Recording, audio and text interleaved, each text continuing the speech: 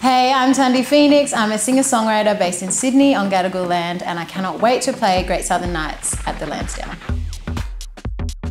To me, I'm like, oh, I'm getting so ooh, worked up because music, I'm just so passionate about it and the way that it can make people feel. It's that emotion that it brings, that energy, that release, the joy. It's something that we need, especially over the past two years. The performance side, that's my favorite part of the job. And to me, that's not a job. That's what I genuinely love doing so much. The energy, it's all about the energy.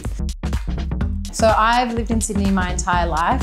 For me, nature is everything. For our soul, nature is so important. And being in a, such a vibrant city as Sydney, you think that maybe you wouldn't have that, but we're able to, you know, disconnect and recharge through nature and it's not that far.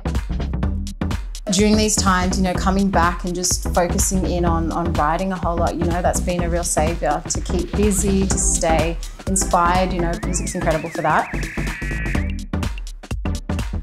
I think the best part about Sydney is it's such a melting pot, cultures, people.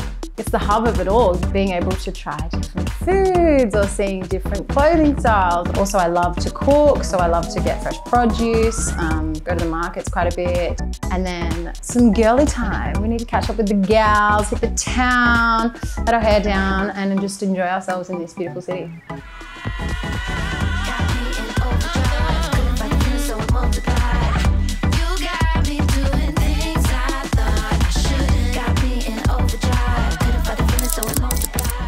I absolutely love Down by the Water at the Harbour. It's such an iconic place for Sydney, but there's a reason for that. It's beautiful.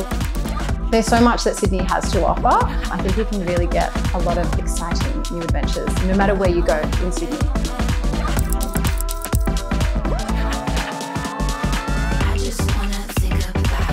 The Lansdowne is actually where I cut my teeth on the stage. There used to be a jam night there and that's where I started getting comfortable on stage. So it is a crazy full circle moment to now be coming back and playing a show at the Lansdowne. I feel like Sydney, oh, and the whole of New South Wales, we need to reinvigorate the nightlife, the culture. Like music to me is the heart and soul of society. We need it. It's so important. It nourishes us. It makes you feel alive. So I think this initiative is so welcome and is so wonderful. And get me on stage, baby.